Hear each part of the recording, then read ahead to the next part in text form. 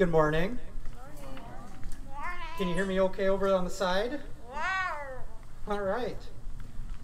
Well, welcome to worship. It's good to be together in this physical way after some months apart from each other. So, thank you for all the hard work that you've been doing in caring for your neighbors through wearing masks and staying at home at times. Uh, whatever you can have been doing to be Christ's presence for our community and to get us uh, through this difficult time. Just a few notes before we start our time together. Um, we will be back online until September 13th.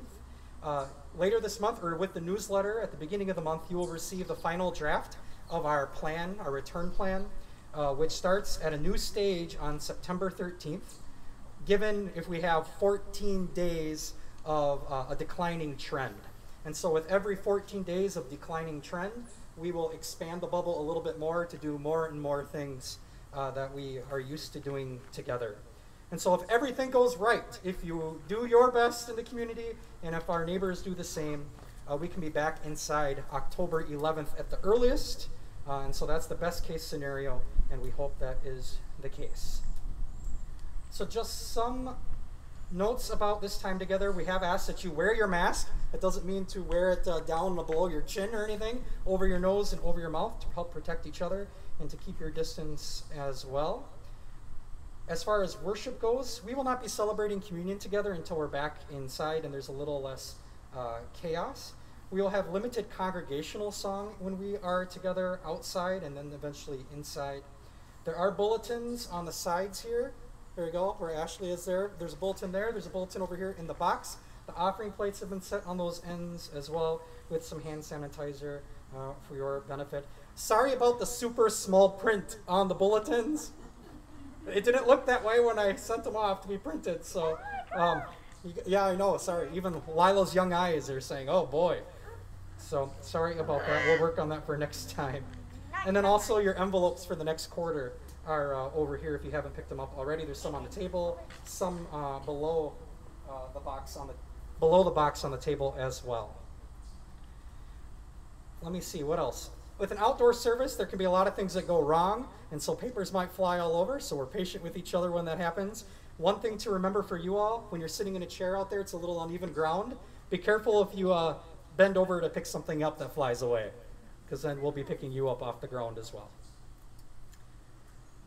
Just one note um, about our communal life. Our sympathies go to Paul Lind, whose wife Judy uh, died this past month. And so we received news of that the other day. And so our thoughts and prayers are with Paul and uh, his family as they mourn and grieve and remember. We begin with the gathering litany.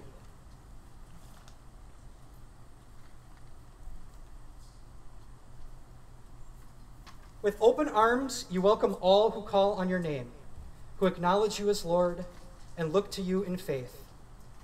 No one stands outside the circle of your mercy and love. And so we come to offer you our worship, to declare that you are our God, and that we are your people, called and chosen by you from the very beginning. Through the presence of your Holy Spirit, open our eyes to see you here Open our minds to receive your truth and our mouths to speak and sing your praise. For you alone are God, worthy of all praise and worship, now and to the end of time. Let us pray.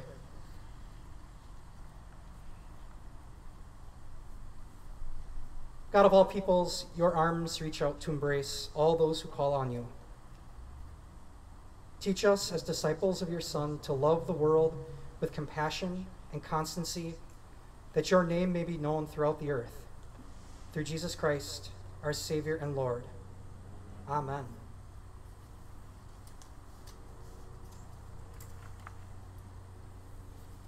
A reading from Isaiah.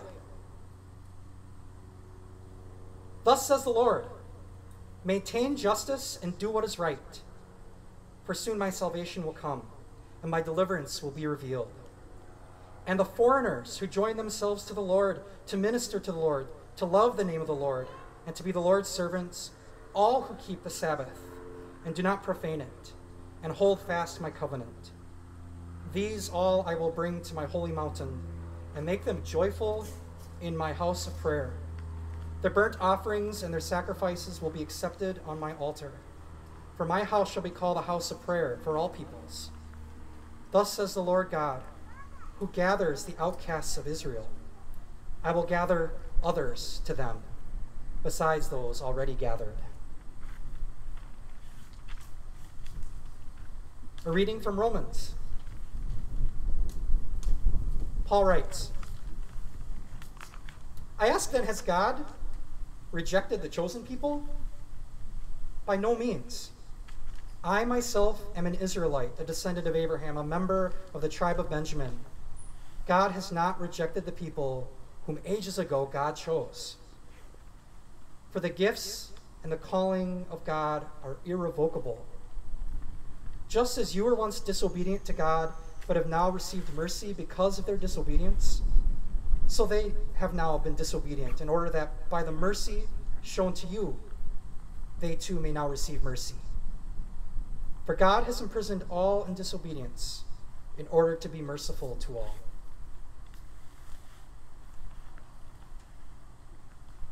A reading from Matthew.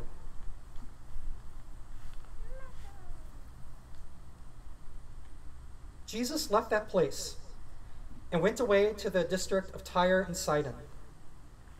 Just then, a Canaanite woman from that region came out and started shouting, Have mercy on me, Lord, son of David. My daughter is tormented by a demon. But Jesus did not answer her at all. And his disciples came and urged him, saying, Send her away, for she keeps shouting after us. Jesus answered, I was sent only to the lost sheep of the house of Israel. But she came and knelt before him, saying, Lord, help me. Jesus answered, It is not fair to take the children's food and to throw it to the dogs. She said, Yes, Lord, yet even the dogs eat the crumbs that fall from their master's table. Then Jesus answered her, Woman, great is your faith. Let it be done for you as you wish. And her daughter was healed instantly.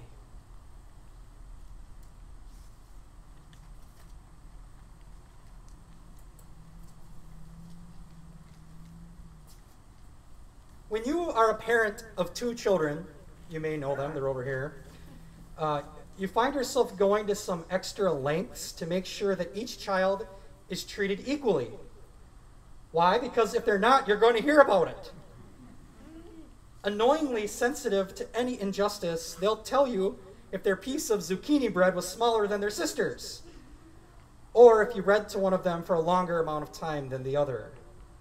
You can imagine the struggle at birthdays when one is specifically celebrated and not the other, with sensors so fine tuned to detect any inconsistency in treatment part of parenting is shaping children to recognize true injustice from perceived, but also to form them to be the kind of people who celebrate another's chosenness and specialness. This is part of Paul's task when he writes to the community of Jesus followers at Rome.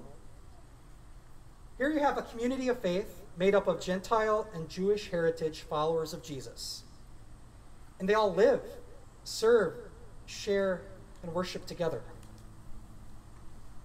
They need all of the coaching they can get to move past any and all rivalry and feelings of inferiority and superiority.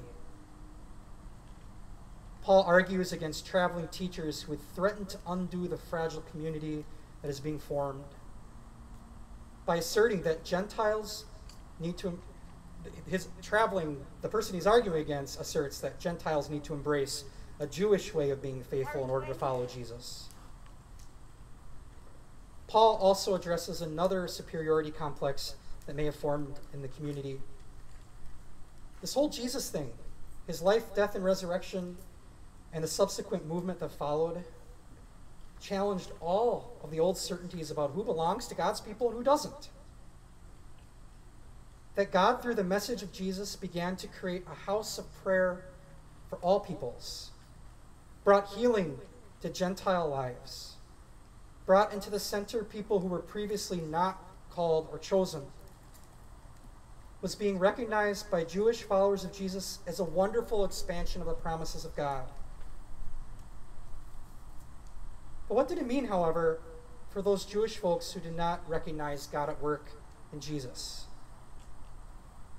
This is a serious question, especially for those Jewish followers of Jesus seeking to maintain that identity as part of their faith. Some Gentile followers may have been of the opinion that, that God moved on from the Jewish people.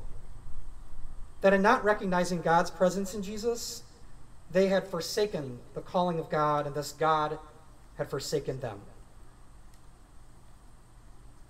You see how this all plays into our finely tuned sense of injustice, into our mindset of rivalry and superiority.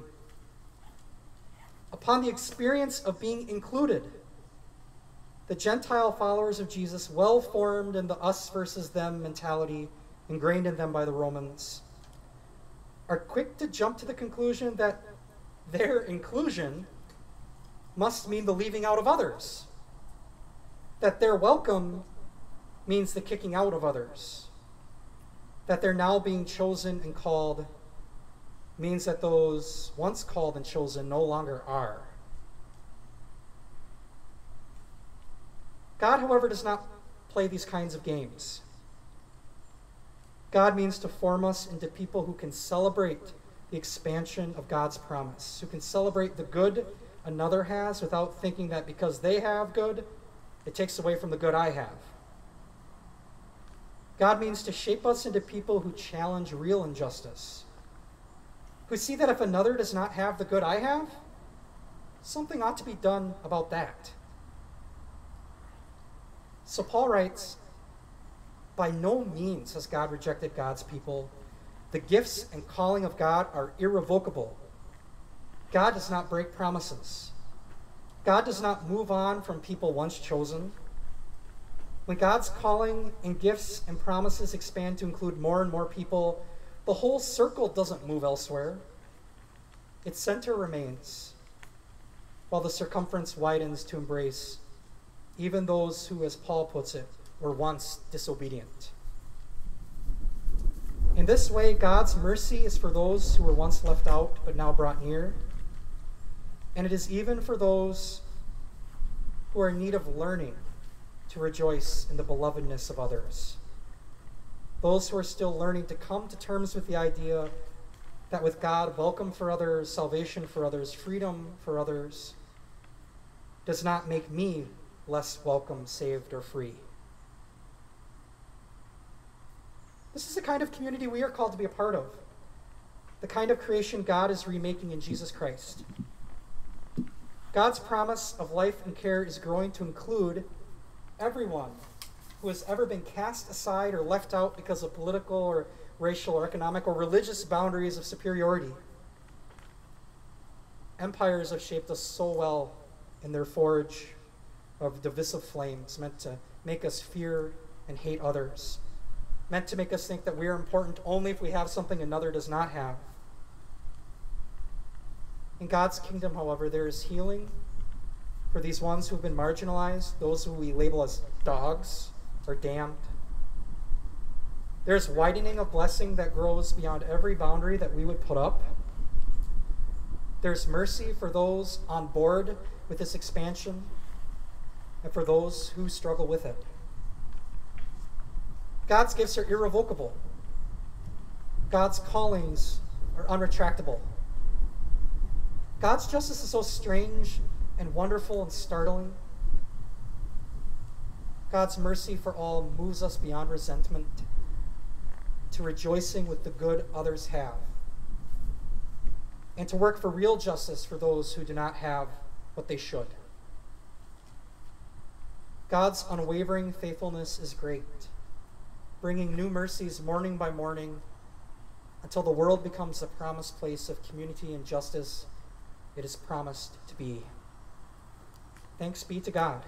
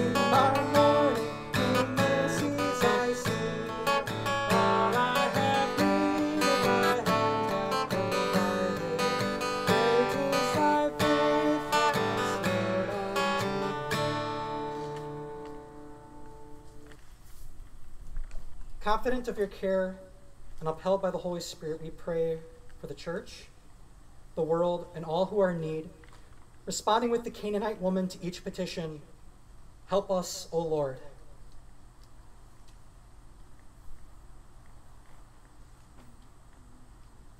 We pray for the Christian church around the world, for humility where the church is dominant, for courage where it is oppressed and for faithfulness when it cannot assemble for worship. Bless your church, faithful God. Help us, O Lord. We pray for your bountiful earth, for cleaner air, for the fields on which our food grows, for the renewal of lands and waters that have suffered from disregard. Protect your earth, faithful God. Help us, O Lord. We pray for the nations of the earth, for the peaceful resolution of disputes around the world, for just policies that care for the poor, and for the upcoming political conventions in our land. Save humankind, faithful God. Help us, O Lord. We pray for all those in need of healing, for the residents of Beirut and other distressed cities for those suffering from hurricane and storm damage, for those sick and dying of COVID 19, for the unemployed, for people without medical care, for medical workers and researchers, for the outcasts of our society, and for those we name before you now Matt, John, Anya, Carrie, Jamie, Ann, Clyde, Sue, Joanne, Patty, Roger, Bev, Helene, Sean, Philip, Sonny. Heal the sick, faithful God. Help us, O Lord. We pray for schools around the globe for educators who must plan for the fall, and for children without the resources to access remote learning. Guide us, faithful God. Help us, O Lord. We mourn the deaths of those we love. And we praise you for the lives of all your faithful people, especially Allie Larson and Judy Lind. At the end, gather us all into the joy of your presence. Grant us salvation, faithful God. Help us, O Lord. In the certain hope that nothing can separate us from your love, we offer these prayers to you through Jesus Christ, our Savior and Lord. Amen. Gathered into one by the Holy Spirit, we praise Jesus taught us. Our Father, who art in heaven, hallowed be thy name. Thy kingdom come, thy will be done, on earth as it is in heaven. Give us this day our daily bread, and forgive us our trespasses, as we forgive those who trespass against us. And lead us not into temptation, but deliver us from evil. For thine is the kingdom, and the power, and the glory, forever and ever. Amen. Neither death, nor life, nor angels, nor rulers, nor things present, nor things to come, nor powers, nor height, nor depth, nor anything else in all of creation will be able to separate us from the love of God in Christ Jesus. God the Creator, Jesus the Christ, and the Holy Spirit the Comforter bless you and keep you in eternal love. Amen. Amen. Go in peace. Christ is with you. Thanks be to God. Amen.